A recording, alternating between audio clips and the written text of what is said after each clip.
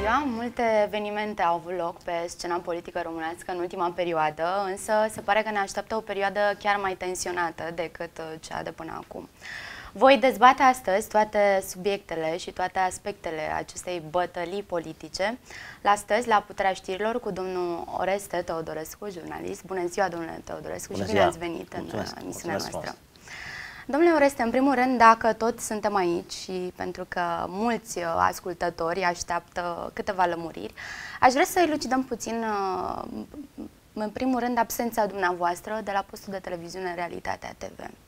Ce s-a întâmplat, de fapt, și de ce nu vă mai regăsim acolo? Cred că mult mai în măsură decât mine să lămurească acest aspect bizar uh, ar fi Cosmin Gușă. Numai că văd că el păstrează o, o limită de discreție pe care nu o înțeleg.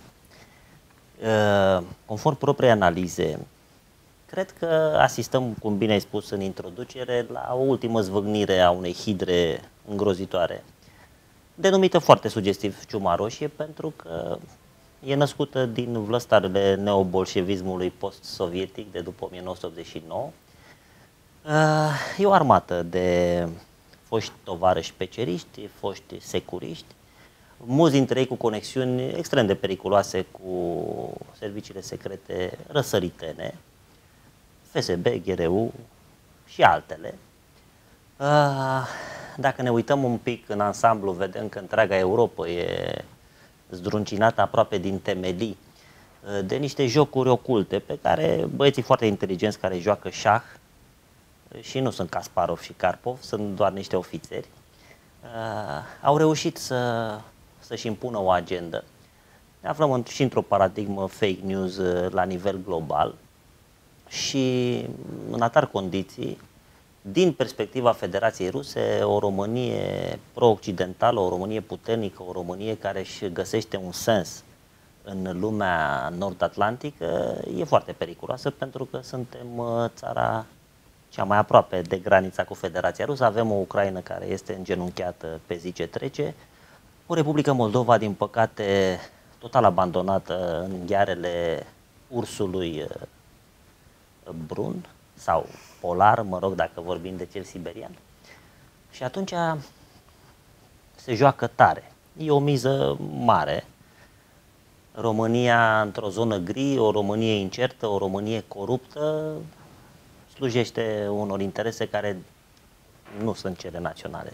Dar din în ce, păcate. în ce relație mai sunteți acum cu uh, jurnalistul Rareș Bogdan? Știm că la emisiunea dânsului uh, vă vedeam foarte des. Păi relația este aceeași, camaraderia, Deci nu s-a schimbat nimic camaraderia în- dintre noi, fraternitatea noastră, dragostea pe care ne purtăm reciproc unul altuia, nu au preț și vor continua să reziste chiar poate și după dispariția noastră fizică. Uh, Mie îmi pare foarte rău, eu înțeleg foarte bine, stau de vorbă cu Rareș de multe ori pe zi, Uh, E foarte trist ce i s-a întâmplat. Uh, În continuare cred că miza finală a acestui joc pus la cale de, mă rog, nici nu vreau să mai spun cine, că telespectatorii tăi și ai noștri știu la cine mă refer. Uh, Ar fi fost uh, o realitate fără jocuri de putere. După 10 august, uh, influența noastră, puterea noastră de a comunica real și în timp real cu protestatarii și cu românii care se încăpățânează totuși să lupte pentru un ideal și pentru o cauză dreaptă. Au fost atât de mari încât uh, grupul de la Scroviștea și aliații lui au hotărât că um, atunci când vor da ordonanța de amnistie și grațiere, noi suntem periculoși acolo. Și ca atare, într-un mod cât se poate de straniu, acum două săptămâni, chiar cu un minut înainte să intru pe post, am fost interzis. Oana Sănciurescu la fel, Vi s-a oferit vreo explicație? nicio explicație. Nici măcar un telefon așa, ăla de bun simț, după 5 ani de contribuție și a noastră umăr la umăr într-un proiect uh, a libertății de exprimare și al unei televiziuni cu adevărat libere. Niciunul dintre noi nu a fost uh, remunerat nici măcar o dată sau un bon de benzină măcar pentru miile de kilometri pe care le-am parcurs în anii ăștia. Dar nu a contat asta și evident noi nu am condiționat niciodată uh, un payback la ceea ce facem din credință și din dragoste față de cititorii și ascultătorii și privitorii noștri. Dar uh, răsucirea asta bruscă, după niște ani de experiență în presa de investigație, aproape 20 și ceva, pentru noi au fost lămuritoare. Rareș Bogdan s-a întors la realitatea Rareș Bogdan s-a întors, nu i-a fost ușor să se întoarcă. El este și bărbat, este și un ardelean uh, vertical și umilința la care a fost supus și, hai să zicem, tangoul ăsta fără, tangoul pe cazacioc, la care am asistat cu toții, foarte greu de digerat pentru un caracter tare cum este Rareș. Dar am uh, concluzionat uh, mai mulți împreună că decât să pierdem un război, mai bine pierdem o bătălie și e foarte important pentru publicul Realității TV și pentru publicul Jocuri de Putere ca el, măcar până când ne vom lămuri cu preluarea președinției Consiliului Europei, să rămână pe baricade.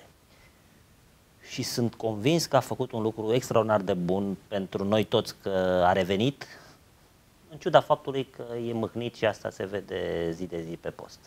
Dumneavoastră aveți de gând să vă mai întoarceți uh, într-o anumită condiție, nu știu, la uh, Eu, a, pentru privilegiul și onoarea de a fi alături de rare timp de 5 ani de zile, aș călca orice fel de orgoliu personal. Dar revenirea mea este condiționată în primul rând de revenirea tuturor.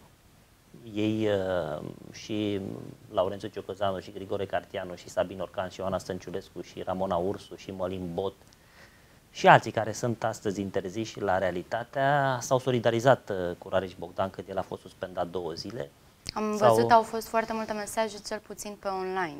Da, au fost.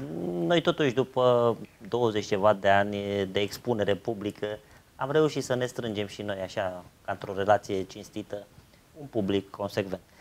Ehm, deci, ca să revin, m-aș întoarce cu o singură condiție. Doar să putem reveni toți cei care, în mod inexplicabil și, sau cu explicații absolut puerile, am fost uh, dați afară, așa cumva noi totuși ne fiind angajați acolo, adică statutul nostru de invitat uh, nu cred că permite al comentariu. Neavând nicio relație contractuală cu domnul Cosmin Gușă sau cu Realitatea TV, el nu ne-a dat afară, ci pur și simplu ne-a interzis. Ce vă transmit oamenii, cei care vă urmăreau până acum uh, la acest post de televiziune? Uh, majoritatea dintre ei, sigur, simt cumva nevoia să păstrăm acest touch Uh, cald și onest cu ei, uh, ne vom regrupa și noi ne vom reorganiza.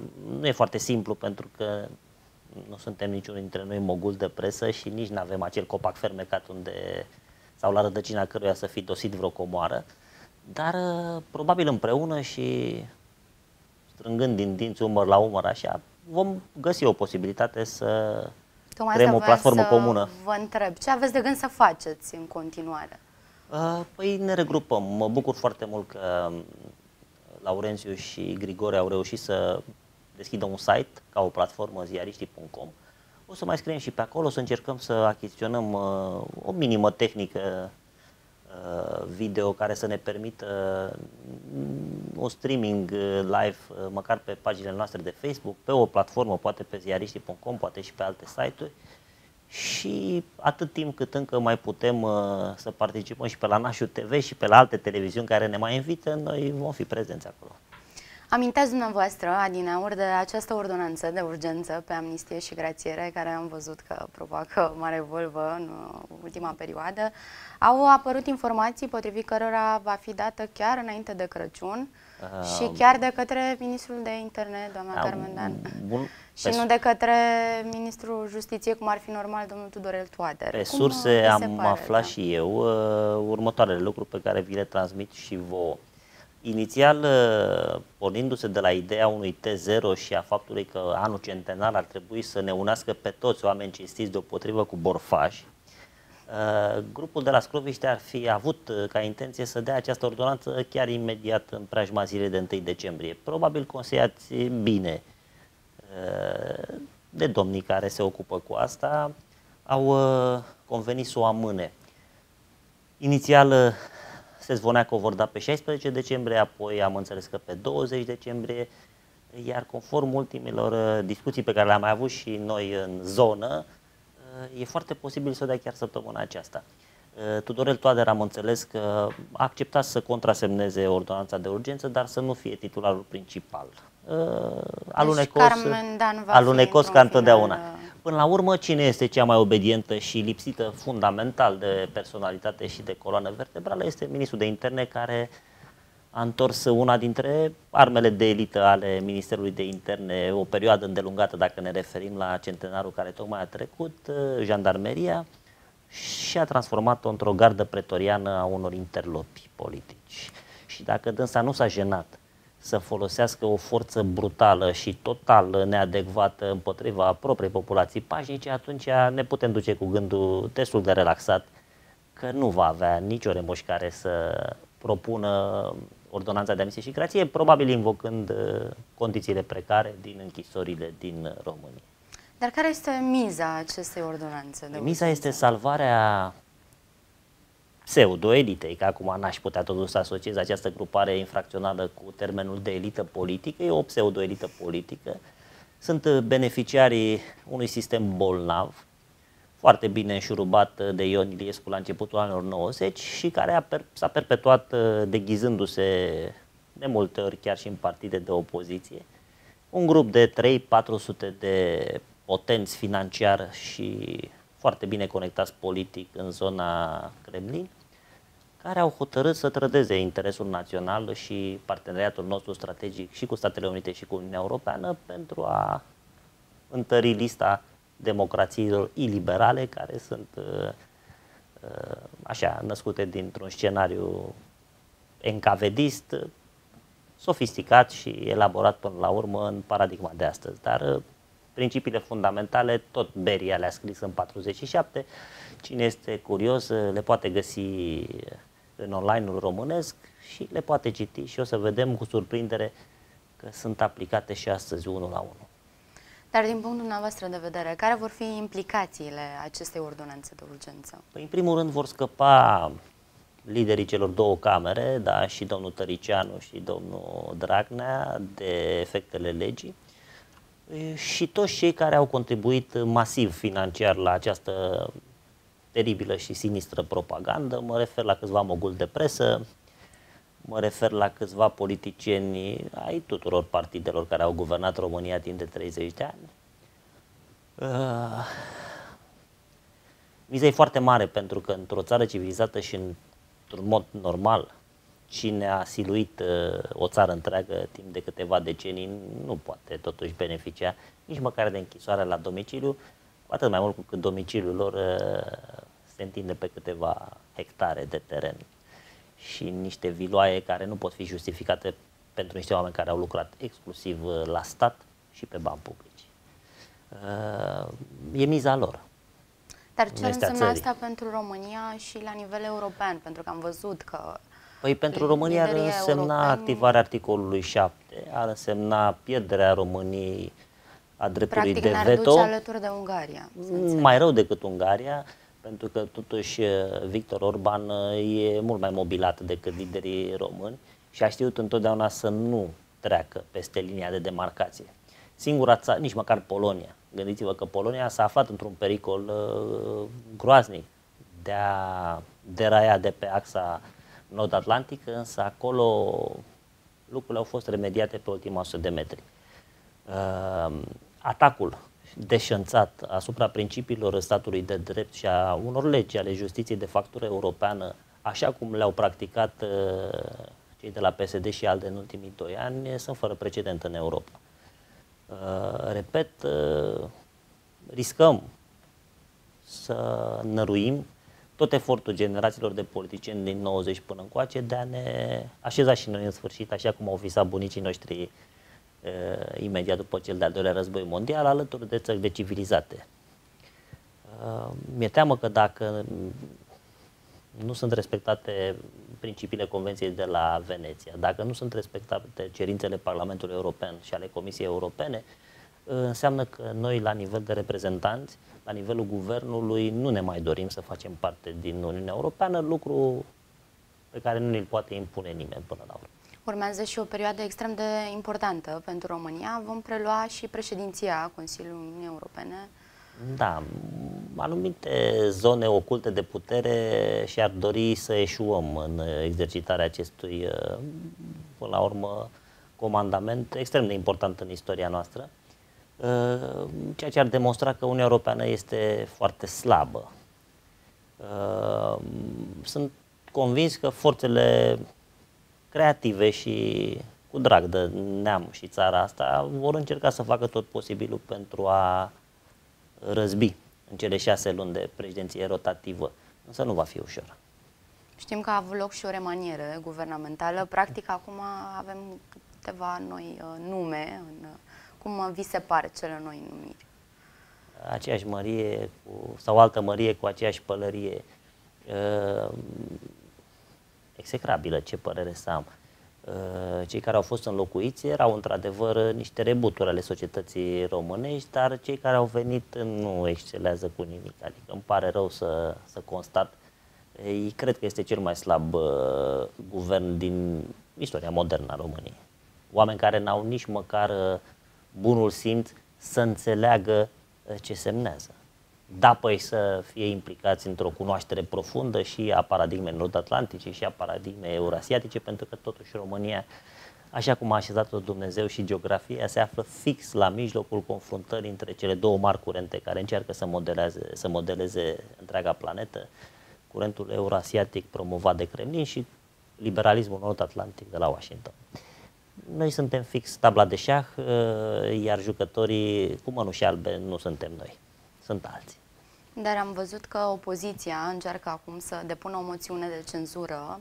Nu știm exact data, dar știm că în această lună chiar domnul Ludovic Orban spunea la puterea știrilor că în perioada 10-13 decembrie am putea să ne așteptăm. Da, ar fi varianta cea mai elegantă și cea mai europeană până la urmă să ne putem reveni la o normalitate și la un firesc uh, european, anume de a trece această moțiune de cenzură, acest guvern absolut uh, incompetent și incapabil să producă ceva bun pentru România să pice iar uh, președintele României să deschidă negocierile pentru un guvern de largă coaliție, pentru că trebuie să recunoaștem, asta este, uh, PSD și ALDE au câștigat alegerile. Probabil că în interiorul celor două formațiuni, dacă, hai să spunem, interfața asta infracțională s-ar duce acolo unde merită, s-ar găsi totuși uh, niște cadre, dacă să folosesc un limbaj drag tovarășilor, care ar putea totuși să reprezinte într-un guvern uh,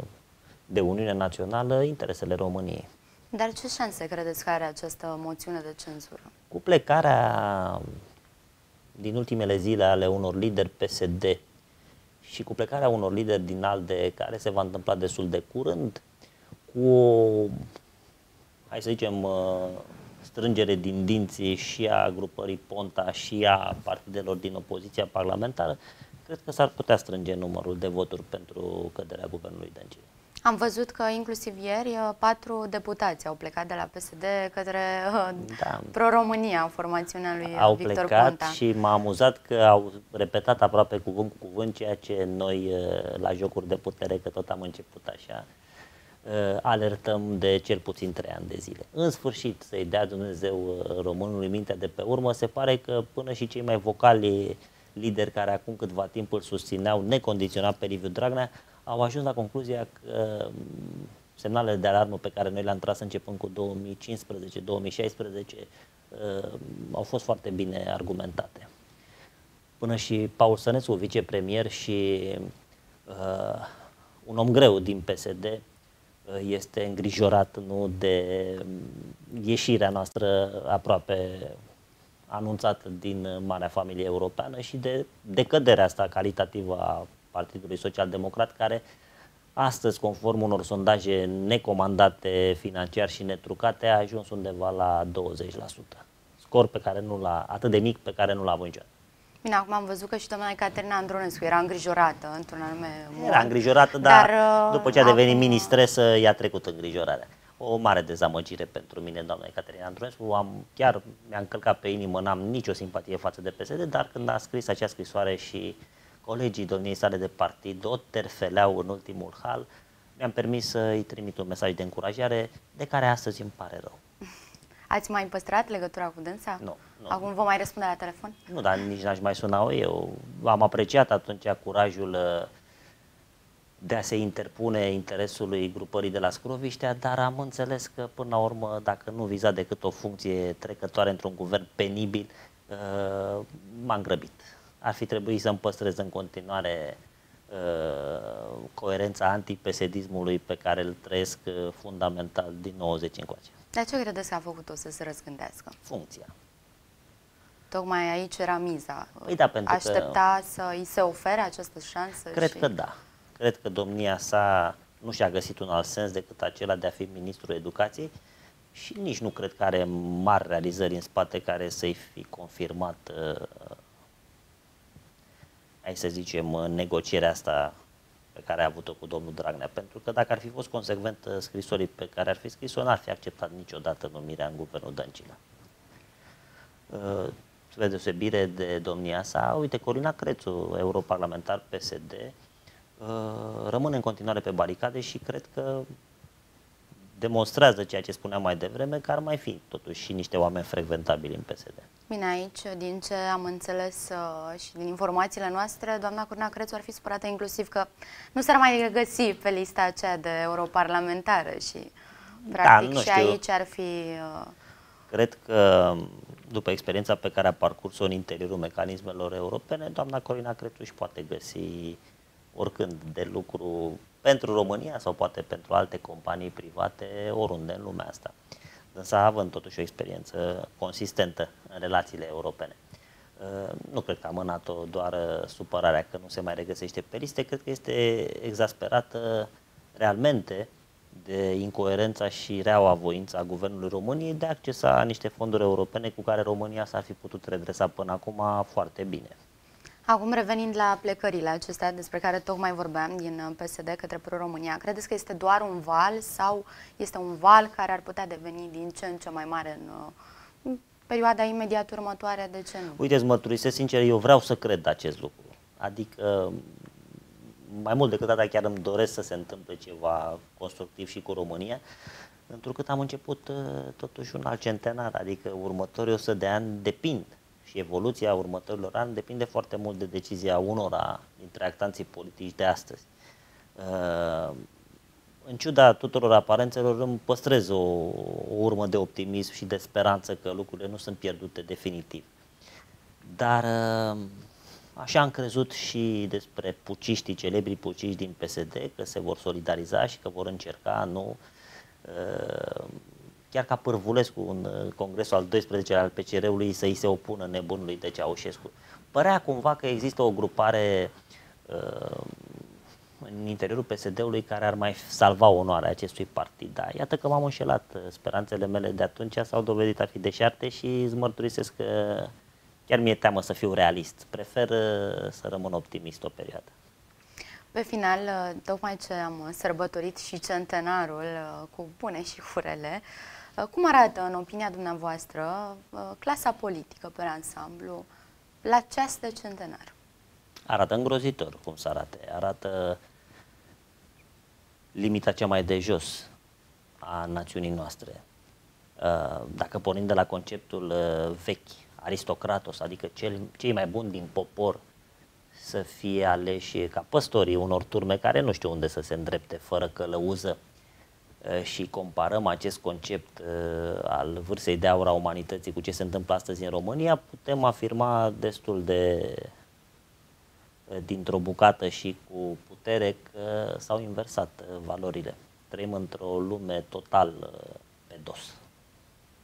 Astăzi cei mai proști dintre noi ne conduc și asta nu e un semn bun. Unde nu spune și uh, Noul Testament că dacă păstorul este chior și turma este oarbă, oare unde vor ajunge aceștia? Prăpastii.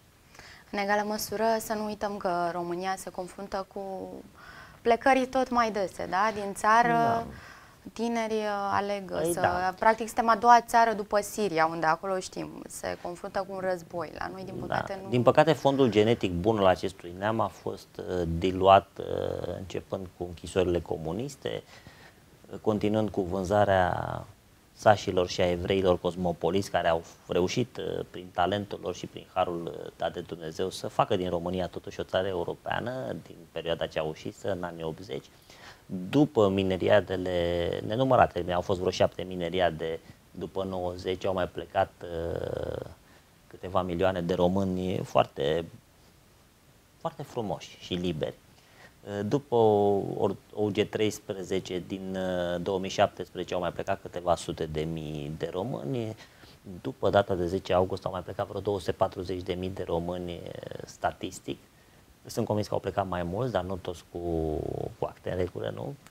Uh, deci suntem, eu cred că suntem vreo 8 milioane, 9 milioane de români în afara României acei români care ar fi putut să schimbe și direcția și destinul acestei națiuni. Adică cei mai frumoși și cei mai drepți dintre noi, din păcate, nu mai sunt în interiorul granițelor României.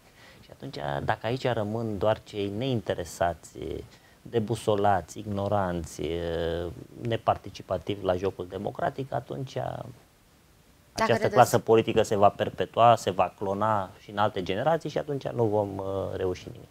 Credeți că mai există vreo șansă ca ei să se întoarcă în țară? Uh, Să-i aducem acasă? Da, eu cred că șansa poporului nostru este ca măcar un milion, două dintre cei care sunt plecați în afară, cu experiența pe care au avut-o acolo, uh, cu știința că se poate totuși și altfel, dacă se vor întoarce în România, vor ști și ce să ceară și ce să aștepte de la clasa politică nu cred că e o șansă pentru ei, din păcate, însă mizez pe faptul că forța de muncă brută e pe cale de dispariție, Occidentul industrializat se va tehnologiza și probabil nu vor mai fi atâtea locuri de muncă pentru români și din constrângere, din păcate pentru ei, vor, vor, trebui, vor trebui să se întoarcă, dar întorcându-se va fi mai bine pentru România. Eu vă mulțumesc pentru prezența în emisiunea noastră și vă mai așteptăm cu mare drag pe la noi să vă mai mulțumesc. dezbatem uh, tot plăcere. ce se întâmplă uh, și pe scena politică și nu numai. Vă urez uh, succes și anduranță, vă urmăresc de când ați apărut și e un motiv de optimism în plus pentru mine să cred că lucrurile nu sunt chiar pierdute până la cap. Vă mulțumim! Sărma.